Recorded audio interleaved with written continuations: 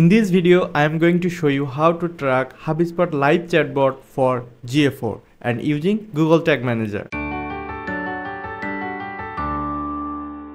Hi, you are welcome to this video. My name is Nasim and I am a top rated freelancer on Upwork, especially on conversion tracking. If you have any issue to set up your conversion tracking, feel free to contact me. Details on the video description. Let's back to this topic as you can see this is my demo website and I have embedded the HubSpot chat with my website. So now it's look like this.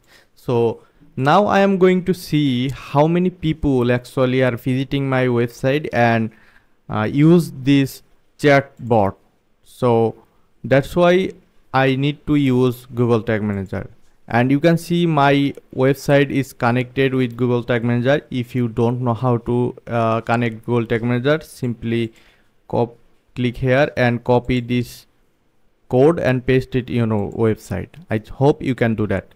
And you can uh, see and also my website is connected uh, through the analytics. So you can see here is the configuration tag. I have connected GA4 with my website. Now I need to set up the um, event which is uh, HubSpot meeting. So first of all, I have to go on the preview mode and see I'm going to on the preview mode and this is actually my website. Uh, your website should be different.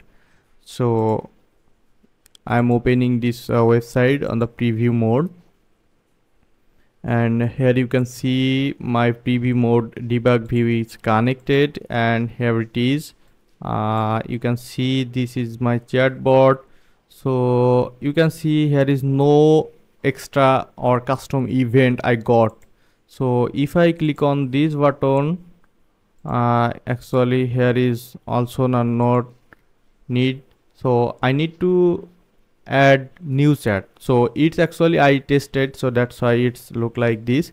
So if i want to start new chat click on this right button and input any message hi you can see uh, if i go back on the Hubs uh, tag manager you can see here is the new event is coming which is conversion gain so actually this is my uh, conversion uh, actually this is my trigger that i want to uh, see the event when uh, this trigger is fired. So that's why uh, i got my trigger. Now i need to set up the event. So for this case i am going to copy it and go to tag manager and click on new and then click on ga4 event. And i will use uh, the configuration base code and what the event name uh, you need to uh, see in your analytics dashboard. You uh, you can uh, choose any custom name here. So i want to choose chat start so i want to keep this name uh, chat name but uh, you can also change this name. You can uh, choose whatever you want. It's nothing important. Uh, so actually you uh, should follow the uh, ga4 instruction. All are small letter and you need to the bracket slash so this kind of format you should use. And i will make a trigger now. Which will be the custom event and I will use this exact same name and I will uh, keep the same name and save it. So I need to save this trigger ga4 live set. So and I am saving it. So my tag is done. Now it's time to test so first of all i am going to preview again and then i want to go the analytics debug view also because it's make sure for i'm getting the exact same event. So for if i want to click on debug view it's actually the live uh, preview that i'm getting the information here. And you can see my website is connected with this uh, event so i want to close it. And i didn't start new chat yet so that's why it's fired not fired.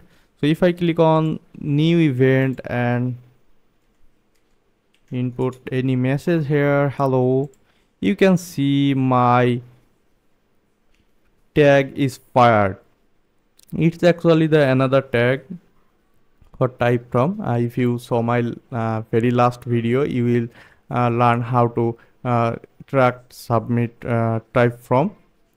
So you can see uh, my tag is fired. So if i go back the analytics i should see that yes the set start now. So now i need to make a conversion. So if you want to make conversion you should go on conversion and uh, you should you should keep the exact same name. So uh, like you can copy it from here. So if i want to open it and copy it from here and input it here and save it. So this is actually the process uh, you can make the uh, conversion. So if i uh, go on the preview mode again and start the new chat then it should be the conversion setup.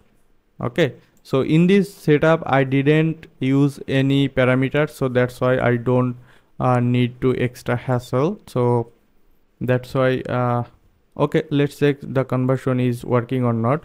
So i need to click on new and set hi and if i go back here my tag is fired. And if i go the debug view again and select google and wait for the new con yes here it is. The conversion is here. So that's mean this is working fine. That's all for today. If you found this video was useful for you don't forget to give thumbs up. And if you want to see more video from me then hit the subscribe button. I will see you on the next video. Till then bye. Have a good day